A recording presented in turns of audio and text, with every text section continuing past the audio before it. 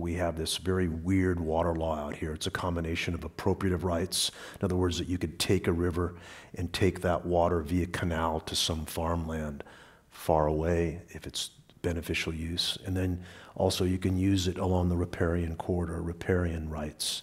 And we have a kind of combination of those two. Selling water, um, I, I don't mind if it's farmer selling to farmer. What really bothers me is farmer selling to city.